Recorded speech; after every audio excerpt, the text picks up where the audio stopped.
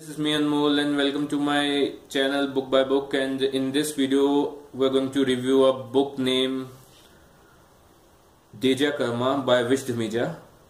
Okay, so this is a story of a defense lawyer in New Delhi named Jay Singh and he he's an alcoholic because of his dark past.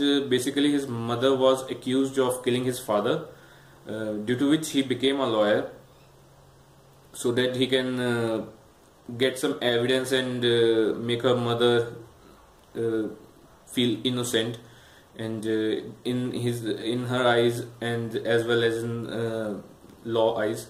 So uh, in this book uh, he is involved in a high profile case and somehow he feel that that case is like a personal thing to him so this is a whole book about this. So now the review of this book. First was the plot and now the review. Okay so this is my first book of Vish and uh, it was written in different style. Uh, some of the chapters are written in first person scenario and uh, that person is why jazz view Jay Singh's view and uh, another was the third person point of view which uh, normally the books have. The combination of these two writing style is very good in this. And uh, basically this story is used to be what you say thriller book.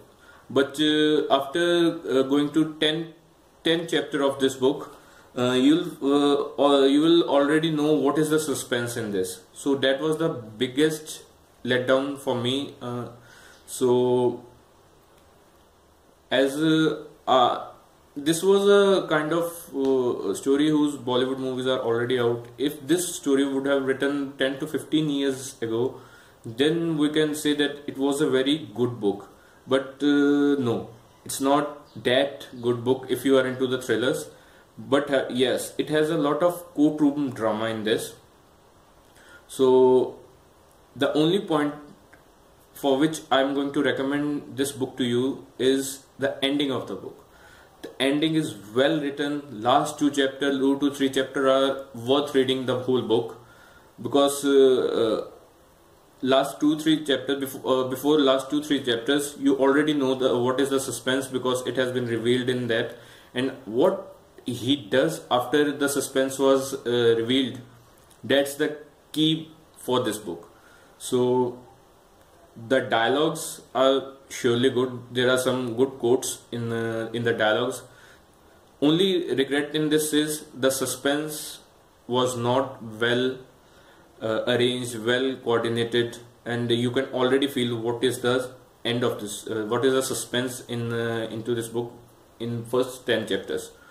Okay, so I'll give three out of five just before because of the ending of this book so let's read this book. Let me know how you feel about this book and how you feel about this video.